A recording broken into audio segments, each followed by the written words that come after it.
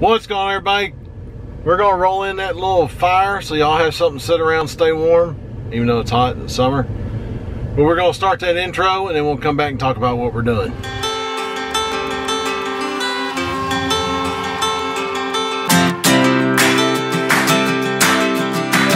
What's going on everybody? How's my outdoor crew doing? Um, we're on a little trip, a little adventure, road trip shall we say. Um, kind of planned this at last minute, so forgive me. but um, what we're doing is, I've never done this, lived in Tennessee all my life, I'm 51 years old, and I've never been on this road, ever. Been under it, been under it a time or two we're going down right now. I'm about 20 minutes out. I'm running about an hour late, so I'm on time. Uh, we're going to hit the Natchez Trace Parkway, and we're going to take it all the way down to Collinwood, Tennessee today. Um, I'm going to stop at points of interest down through there. I am mapping this on Gaia. Um, so what I'll probably do is put the Gaia um, map section of this on my website and may try to figure out how I can attach it to the video itself. So anyways, um, put your seatbelt on. Actually, you don't have to. You can sit back in your chair and watch. But um, we are headed to um, Natchez Trace Parkway. I hear it's beautiful, so I want to see. I've never been down it. Um, the bridge, there's a big bridge over it, and I'll try to get some photos of it put in here somewhere when we get to that point. And uh, I have been below it, under the bridge, and seen the bridge, and you know, saw the bridge being built, the whole nine yards, back many years ago. And the bridge is probably the the one of the crown jewels of the trace. I mean, there's a lot more. At some point in time, down the road, maybe next spring, I want to do the full trace. Uh, that is from Nashville to Tupelo, Mississippi. So look out for that because that's going to happen sometime. Probably do it in spring. I don't want to do it dead summer like right now. Um, so anyway, we will come back once we get to the trace. Right now I'm going to eat breakfast. I've already taken my two pills. It's time to eat. And um, We'll talk about some other things when I come back in a little while. All right, guys, we're fixing to hit the trace, as we call it here in Tennessee. Uh, I've got to reprogram my GPS or something. I've kind of ditched Gaia right now because it's not doing what I wanted to do. sucks. But the trail, the trip will be on Gaia because I had it mapped out on there. Let me turn you around, but that bridge right up there is the Natchez Trace. So that's the start of it on the Nashville end going towards Natchez, Mississippi, or Tupelo, Mississippi, wherever it ends. Um, so anyways, we're fixing to get on it, and we're gonna stop at the different points of interest, and I will spell them out, what they're about and everything, hikes, that kind of thing that you can do.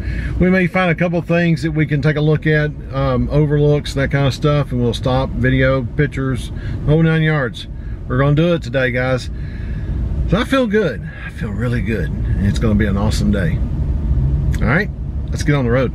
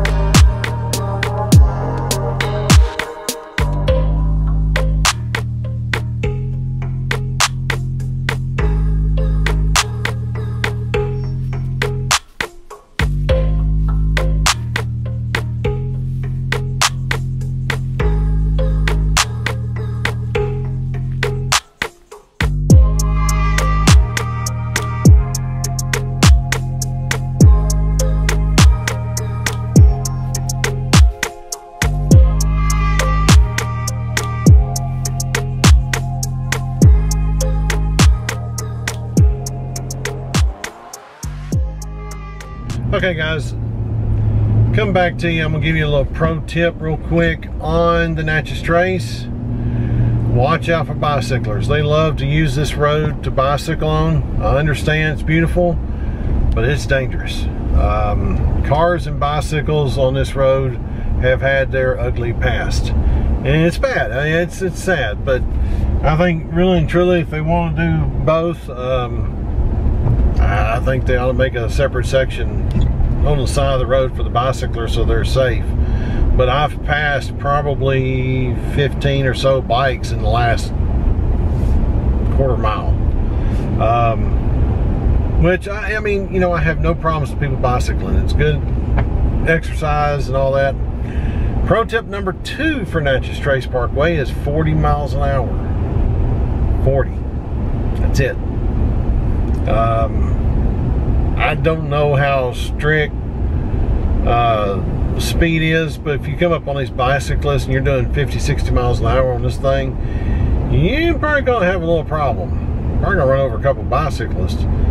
Um, so 40 miles an hour is the max speed on here. I'm doing, you know, I, the good thing about it is I'm not having to look at my speedometer because the GPS has it on it. Now, pro tip number three so say you're traveling on, for instance, the the um, trace. Pick a town, like for instance, I've picked Collinwood, which is where my destination is going to end today.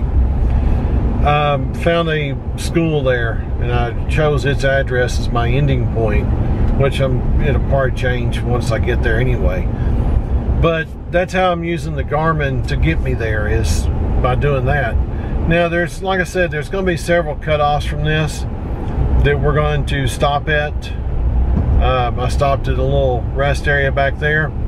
The other thing I will, oh, oh, oh, oh, oh, oh. we're going to stop right there with that. Um, actually, fixing to get out and show you something. We'll be back with the big camera. All right.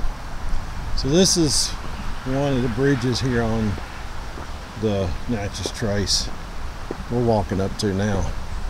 Can't park on the bridge, but we can park before it and walk, which is where I'm at. See the Titan sitting there. People riding the convertibles. We're gonna walk down here and take a look. I'm scared of heights, so probably not gonna dangle off this thing or anything.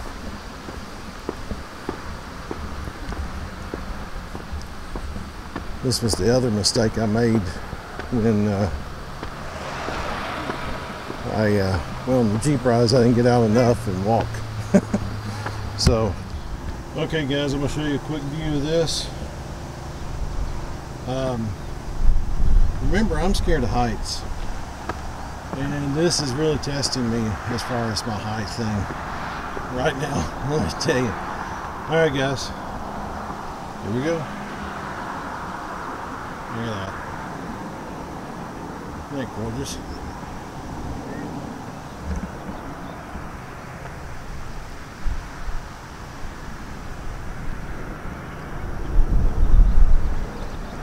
Alright, we're going to get off this really tall bridge and get back to the really high ground, low ground. okay guys, I hope you enjoyed that. Um, something that I've gotten back to the truck now and seen, that's not a good sign. So it looks like the drone may be just along for the ride. But anyway, we're fixing to drive over the bridge now. So I'm gonna get the GoPro going and um, as we do that, head over the bridge now that we've walked down and seen what it looks like from up there. By the way, if you're scared of heights, that's high. um, yes, I'm scared of heights. And uh, that that's that's up there, guys. That is up there. Good lord. Anyways, um, like I said, you gotta watch out for the bicyclists and uh, other people. I mean, just it's it's 40 miles an hour. Just take your time and enjoy it. I mean, look at that. Look, look, look. Look at that. That is crazy. I remember when they built this bridge, um, seeing it come up off the ground and everything, and that they had a couple of deaths building the bridge, and look look how high it is. And they've had some other problems out here with people using that as their way out of life, which is sad. Um, please talk to somebody if you're in that kind of situation. Please talk to somebody, please. It's it's ending. It's not the way. Sorry, it's not. Um, anyways, all right, we'll get beyond that. So anyways, guys, now we're back on the trace shortly. we may have another, let's see, nope, not going there. So we're just gonna keep on trucking. Um,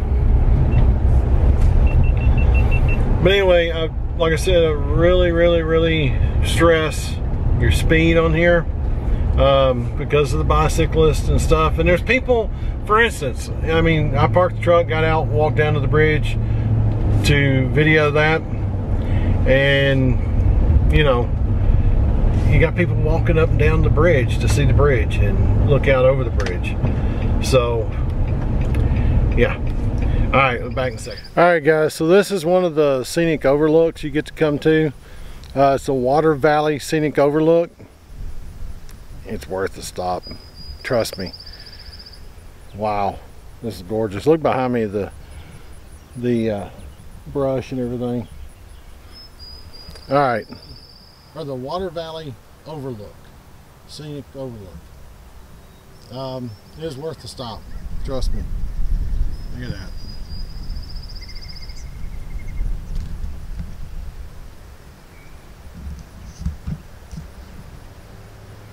gorgeous.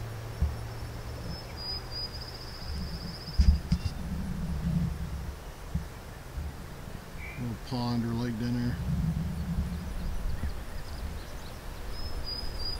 Gorgeous area, guys. Gorgeous area.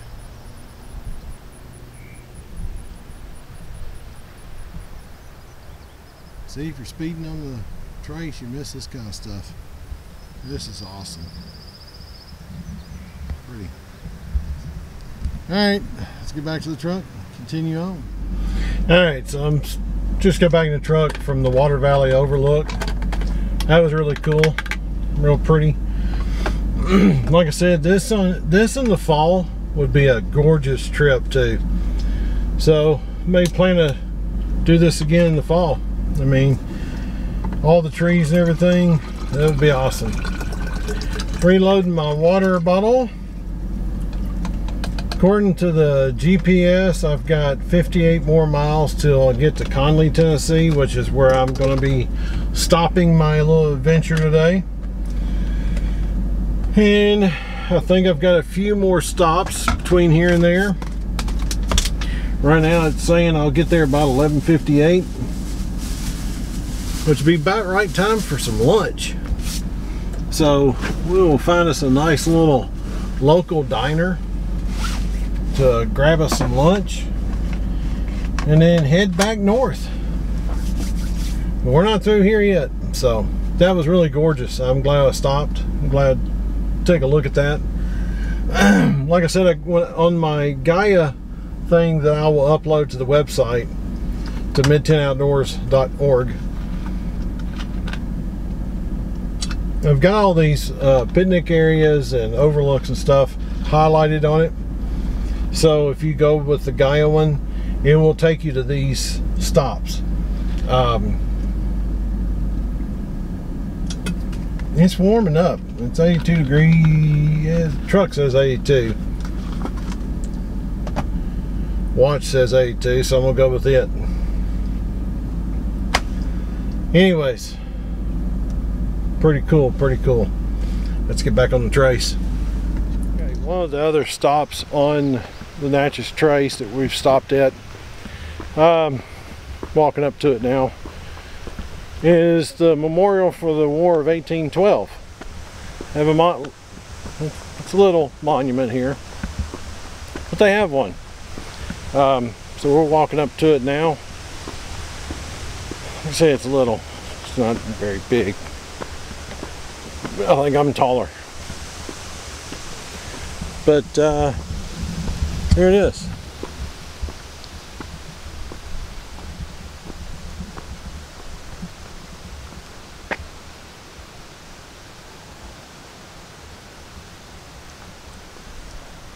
So basically this monument memorizes War of 1812 soldiers buried along the old Natchez Trace and it honors and the service of all brave volunteers who marched on the Natchez Trace during the War of 1812 to help establish American independence. So there you go.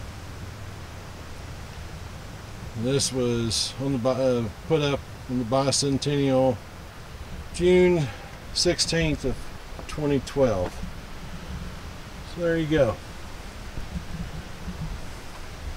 If you don't know about the the money on the monument, we saw that in um, Virginia, and I've seen it at other military style cemeteries.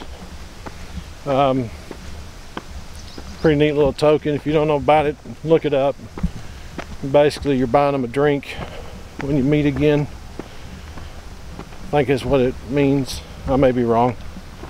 If I am, I'll look it up and I'll note it in a little bit. But anyways, pretty neat little stop. Cute little monument. Um, so the speed limit dropped, jumped up on me a little bit to 50 miles an hour. But I'm still cruising at 45 and stuff because I'm looking as I'm driving and it's gorgeous. so anyways,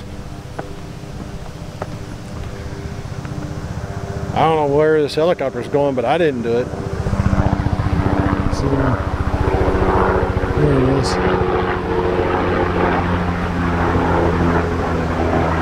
Got a good glimpse of it. Anyway, we're going to get back on the trace. It's warming up a little bit. I feel that uh, moisture building in the air.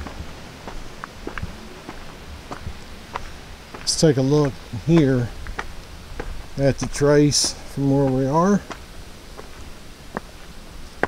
Alright, there it is. There's the trace. And we're going that way.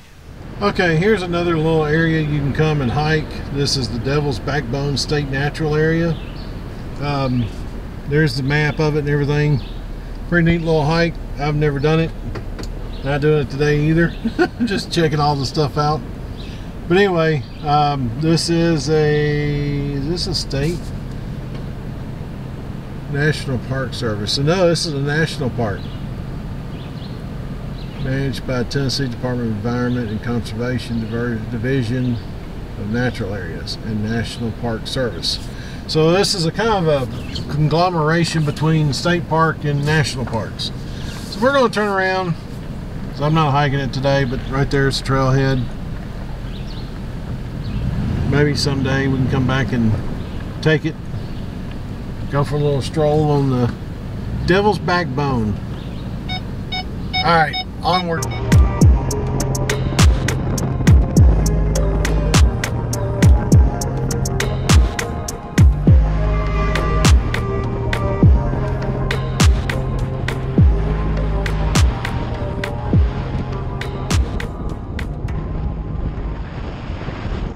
Okay, so this is Meriwether Lewis of the Lewis and Clark fame cabin he died in. Um, depends on who you talk to how he died. Whether he committed suicide or somebody did it to him. But this is the cabin that it took place. Okay, as the plaque says, this is Grinder House, site in ruins of the Grinder House in which Meriwether Lewis met his death on the night of October 11th, 1809. So that's it right there. So right there is where Meriwether Lewis is buried of Lewis and Clark fame. Right there. Didn't know it was in Tennessee. Wow. So anyways, guys, we're to get back on the trace. Got a lot more to say. All right, guys, so getting close to Collinwood, Tennessee. Um, oh, wow. Pretty farmland. the the trace is gorgeous. I can't wait to do the whole thing one day. I can't wait to come back here in the fall. It'd be just knocked down gorgeous through here. It'd be like kind of going to the Smokies, I guess. um, just awesome. All right, so found a place to eat. Um, it's coming. I came into town and pulled up a thing, and I found the. I think it's called the Crossroads or Chad's Family Restaurant or something of that nature awesome. Oh my God, it was good. The thing that drawing my attention though is it says fish, catfish, fried catfish. Oh my God, that's all we gotta say. I'm hoping now I don't have to pull over and take a nap because it, God, it was good. But um, I love little places like this. You know, it's people that travel the roads that keep these places alive. You know, that's just the way it goes. This little town, I mean, you're looking at it. You're looking at the little town. So we're gonna get back on the road. We'll end this a little bit later.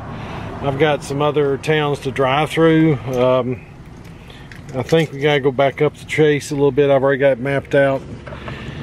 It's saying oh, I'll be home at 3:31, so that's not bad.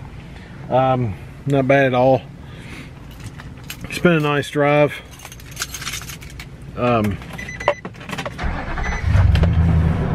but uh, won't be any more stopping this time. We'll just full send, pulling her ears back and let her fly. But anyways, if you're in Collinwood, it's Ch I think it's Chad's Family Restaurant is what it's called now. It used to be called something else, but they got barbecue, chicken, fish, and steak on the side of the building. I mean, guy could die here and the catfish was good. um, coleslaw was good too. Ooh, Lord, Lord. All right, guys, let me get back on the road. I'll bring you back if anything happens. Definitely bring you back to close out the video. All right. All right, guys, we're gonna close out the video. Um, was amazing drive down. Uh, we're on interstate now, coming back. We came uh, came back up the trace a little bit hung left into Maury County and now up through Williamson County and Davis County back over into Wilson County. A lot of counties, isn't it? But um, it was a great drive. Want to do it back and come back in the fall and do it again. Um, I think I figured I was only 20 miles from the end of the trace in Tennessee. So there, from there forward, it would be, I think, goes into Alabama, and Mississippi, and that's where it ends. Um, I hope you enjoyed all the video. It was great. It was good to get out. Um, like I said, it's up to 91 now. Humidity is not bad yet. It's coming. They're saying it's supposed to start raining tomorrow, and it's supposed to, humidity is supposed to really jump up summer's about here, guys. Summer is about here as far as Tennessee weather. I think we've had all the cool snaps and comfortable weather we're going to have for a long time. Until at least September, October. So, anyways, we're going to do some more of this stuff this summer.